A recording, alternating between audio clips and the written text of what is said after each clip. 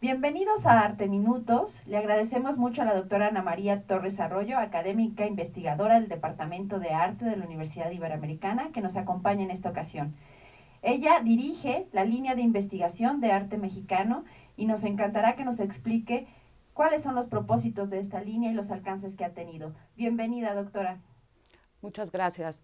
Eh, arte mexicano, moderno y contemporáneo, visualidades y contravisualidades, es la línea del Departamento de Arte que se dedica al periodo del siglo XX y XXI de las manifestaciones artísticas mexicanas. Buscamos con esta línea generar reflexiones críticas eh, a partir del arte sobre eh, problemáticas que competen a la realidad social de nuestro país. Eh, esto lo hacemos a partir, pues bueno, de, una interrelación de propuestas teórico-metodológicas Em, acercamientos que van desde la cultura visual, desde los estudios culturales, postcoloniales, decoloniales, y también, pues bueno, queremos generar una historia cultural de las imágenes. Em, esto, pues bueno, eh, lo hacemos a partir de eh, la formación de alumnos, de la generación de grupos de investigación, que más que nada, em, pues bueno, eh, proponemos eh, investigaciones que tengan que ver con la relación y la interconexión de las imágenes con lo político, lo social y lo cultural. Esto, eh, pues bueno, nos ha permitido generar proyectos de investigación que tienen que ver no solo con la parte teórica, sino también con la parte práctica. Nos interesa muchísimo que los alumnos y los investigadores que estamos involucrados en esta línea pues eh, generemos productos académicos, pero que de alguna manera eh, promuevan la divulgación del conocimiento.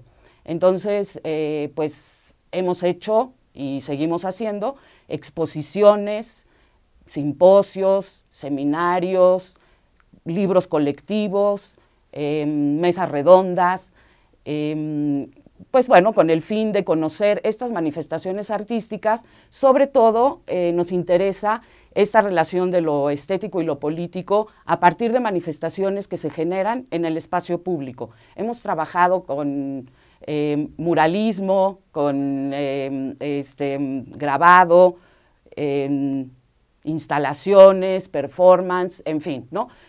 todas estas manifestaciones que de alguna manera resignifican lo público, ¿no? y eh, nos invitan a participar en una reflexión crítica a partir del arte.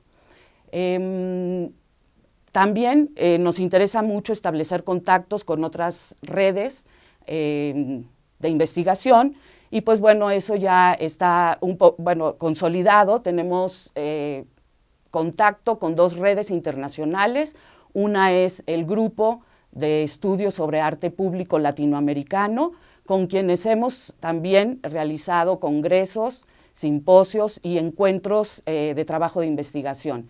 También tenemos contacto con, con, REBLAT, la Red de Estudios Visuales Latinoamericanos, que em, también eh, con ellos hemos colaborado eh, en la elaboración de, este, pues bueno, también de, de coloquios, de simposios eh, y, bueno, la red de estudios visuales latinoamericanos tiene una revista que se llama Artefacto Visual eh, y un blog que también, pues bueno, ¿no? continuamente estamos colaborando con eh, aportaciones pues sobre temáticas que tengan que ver con el arte mexicano de estos periodos.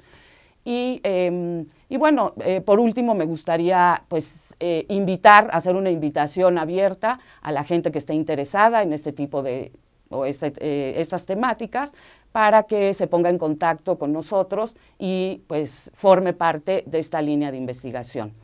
Eh, también eh, uno de los proyectos que tenemos, em, pues bueno, que estamos realizando ya desde hace un par de años, es pues la divulgación del muralismo en específico del Centro Histórico de la Ciudad de México, y ya hemos publicado dos libros que tienen que ver con los murales del mercado Abelardo Rodríguez, con los murales de San Ildefonso.